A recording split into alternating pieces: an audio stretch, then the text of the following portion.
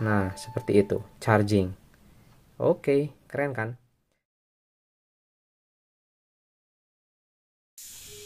Oke, di video kali ini di sini kita akan coba bahas terkait Dynamic Island.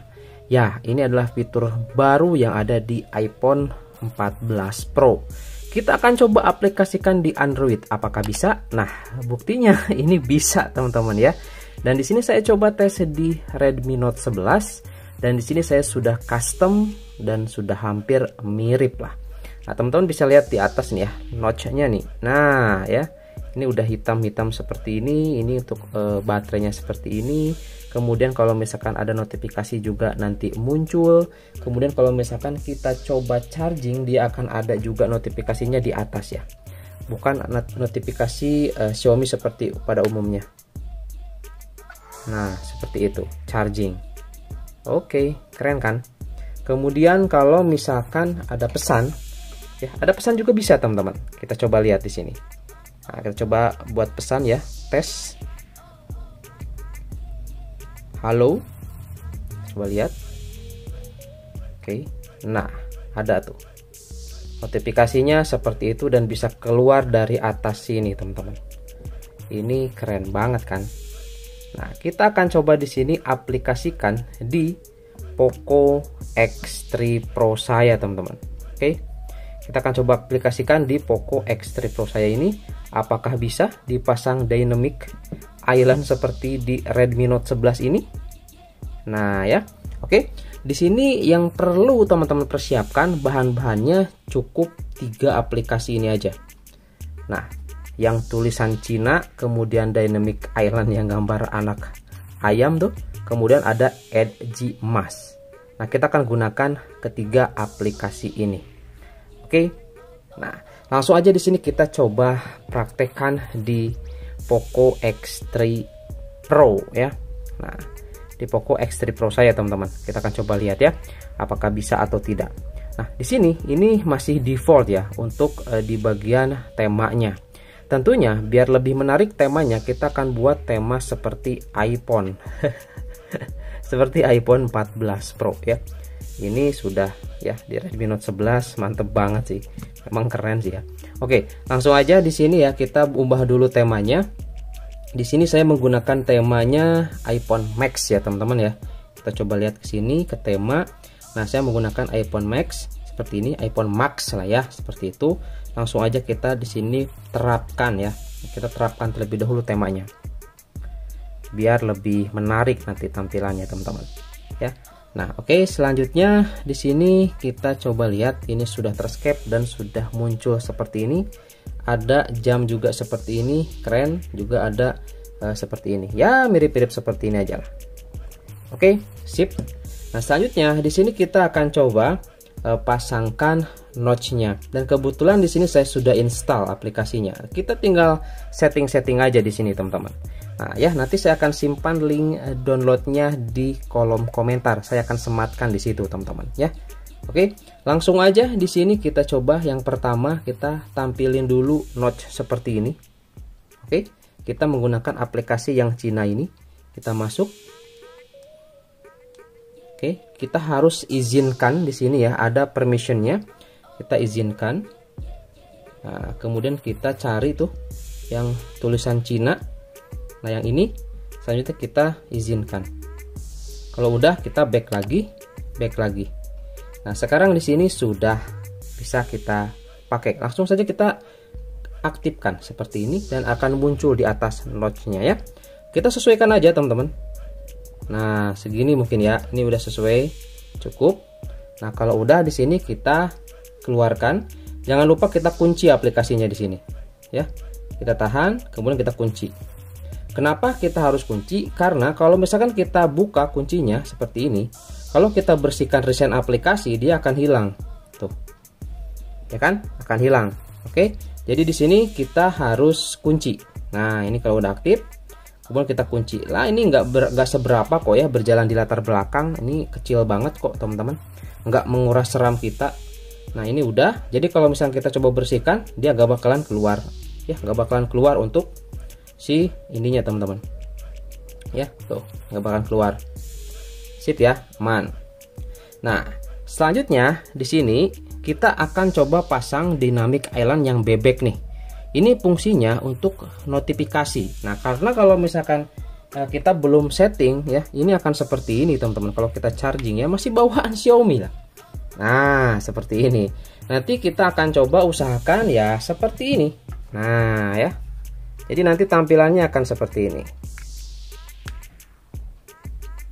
Tuh begitu notifikasi chargingnya teman-teman ya.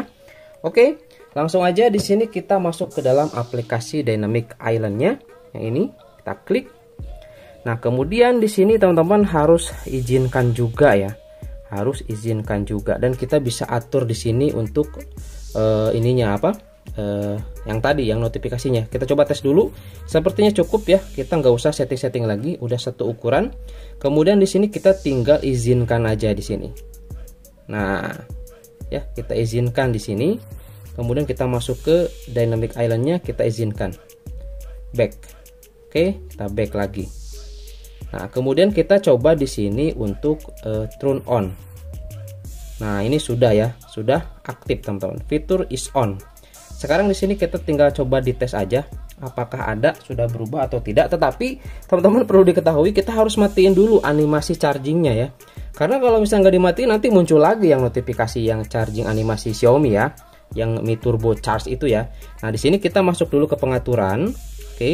Kemudian di sini teman-teman masuk ke dalam uh, tampilan, sorry mana?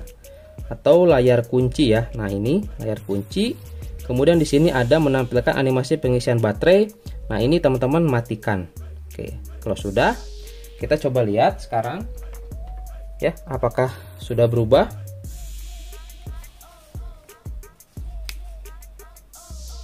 Nah, sekarang chargingnya sudah berubah, sudah ada notifikasi di atas teman-teman. Sip ya, ini keren banget. Oke, udah.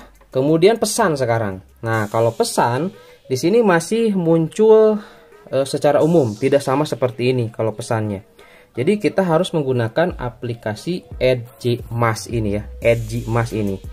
Nah, gitu ya. Kalau Bang, kalau misalkan yang Dynamic Island kalau kita keluarkan dari recent aplikasi, apakah dia akan tetap berjalan? Oke, ini kita keluarkan dari recent aplikasi semua aplikasinya. Dan sekarang kita coba uji tes lagi, kita cas lagi.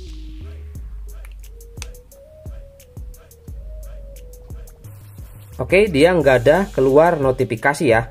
Dia nggak ada keluar notifikasi berarti harus sama. Jadi si aplikasi ini yang bebek ini kita juga harus aktifkan seperti ini teman-teman. Nah kemudian ini kita harus kunci aplikasinya ya. Nah kita harus kunci back ya. Nah ini kita udah keluarkan. Sekarang kita coba lagi.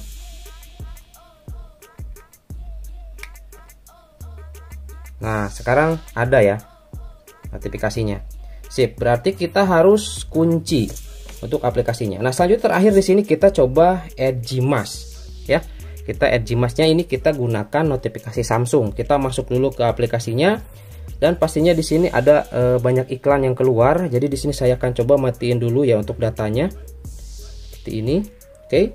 Nah, dan memang di sini kita harus izinkan tidak ada batasan ya. Pilih yang ini Nah, kemudian di sini juga teman-teman harus diperhatikan, ini harus diizinkan yang tiga ini masih merah.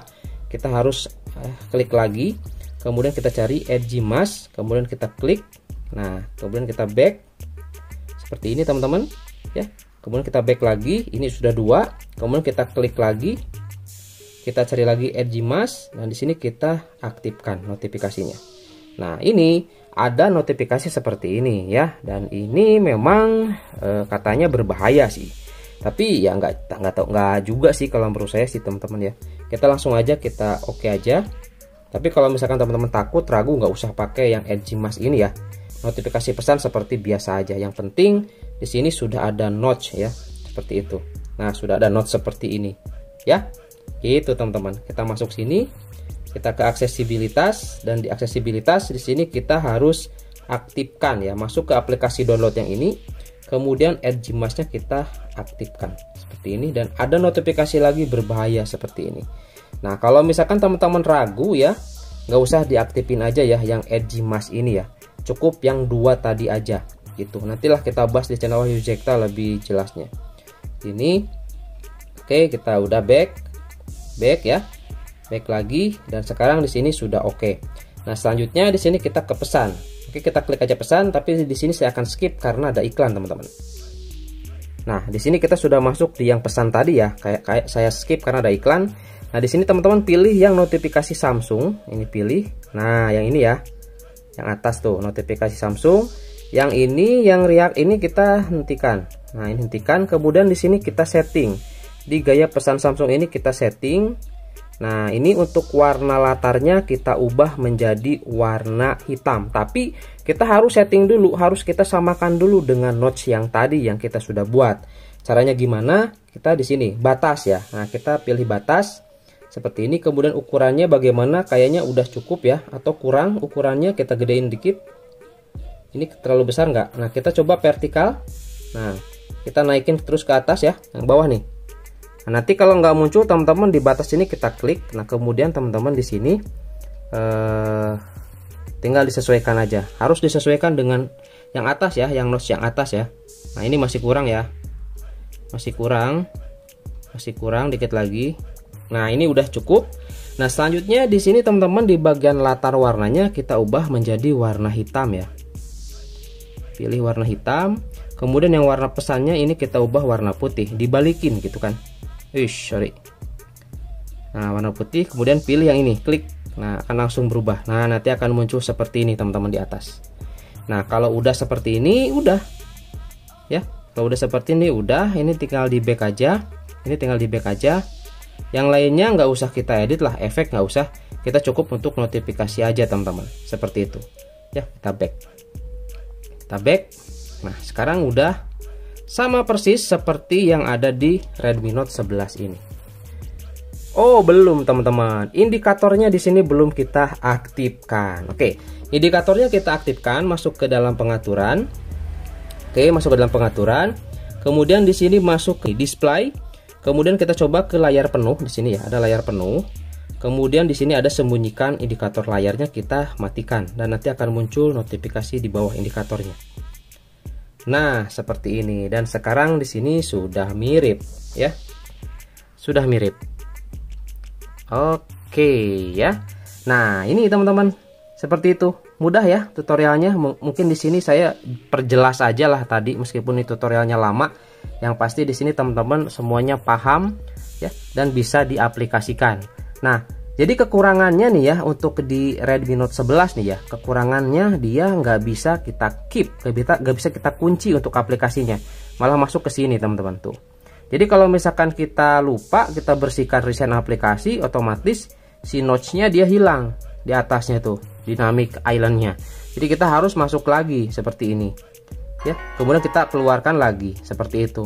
Nah, kalau misalkan di Poco X3 Pro karena kita bisa kunci untuk aplikasinya, ya contoh yang ini kita kunci jadi dia aman nggak hilang gitu. Tuh. Ya meskipun kita bersihkan juga desain aplikasi dia aman nggak hilang. Begitu teman-teman ya. Oke. Sip ya. Udah jelas mungkin di sini untuk tutorialnya dan udah lengkap banget kayaknya di sini. Kayaknya ini tutorial terlengkap deh untuk aktifin uh, dynamic island uh, ala-ala iPhone 14 Pro ya Oke, itu aja mungkin ya di video kali ini. Mudah-mudahan bermanfaat dan bisa diaplikasikan. Sampai ketemu lagi di tutorial selanjutnya.